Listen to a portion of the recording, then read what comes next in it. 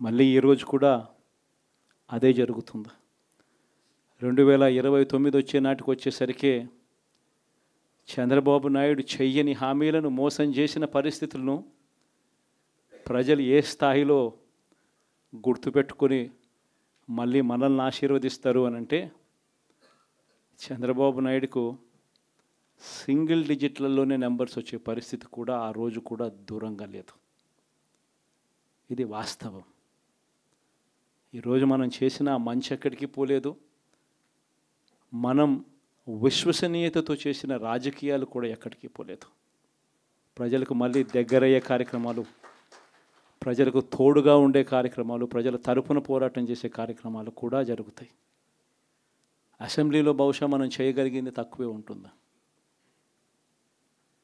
ఎందుకంటే మనకు వచ్చిన సంఖ్యాబలం కూడా చాలా తక్కువే.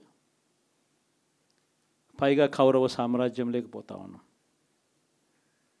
ఏకంగా స్పీకర్ పదవికి తీసుకోబోయే వ్యక్తి ఎంత సిగ్గు లేకుండా సోషల్ మీడియాలో వైరల్ అవుతా ఉంది వాళ్ళు మాట్లాడిన మాటలు మాట్లాడుతూ ఉన్న మాటలు. ఒకడంటాడు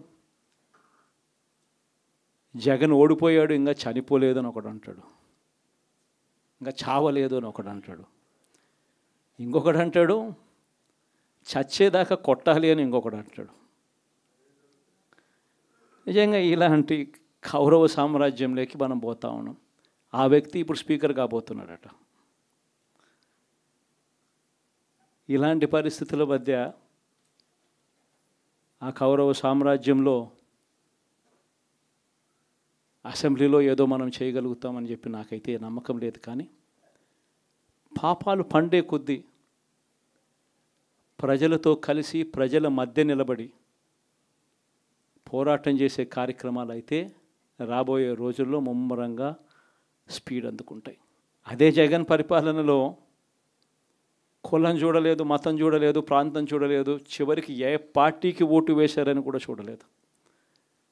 ప్రతి పథకాన్ని డోర్ డెలివరీ చేయించాడు జగన్ మన వైఎస్ఆర్ కాంగ్రెస్ పార్టీ.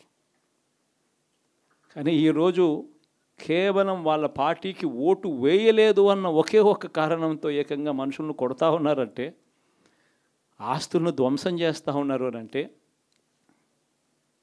ఓటు వేయని వారిని అవమానిస్తూ ఉన్నారు అని అంటే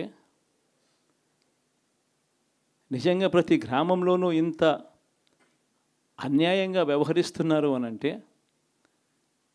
శిశుపాలని పాపాలు పండడం చాలా వేగంగా పడతా ఉన్నాయి పాపాలు పడ్డే కార్యక్రమాలు. ఎప్పుడు చూడల మన పరిపాలనలో మీ జగన్ పరిపాలనలో ఏకంగా మేనిఫెస్టో అన్నది ప్రతి గవర్నమెంట్ అధికారి ఆఫీస్లో కనిపించేది. కలెక్టర్ల కార్యాలయాల్లో మొదలు పెడితే సెక్రటరీల కార్యాలయాల దగ్గర నుంచి హెచ్ఓడి కార్యాలయాల దగ్గర నుంచి ముఖ్యమంత్రి కార్యాలయాల్లో. మన మేనిఫెస్టో కనిపిస్తూ ఉంటే కనిపించే పాలన మనదైతే ఇప్పుడు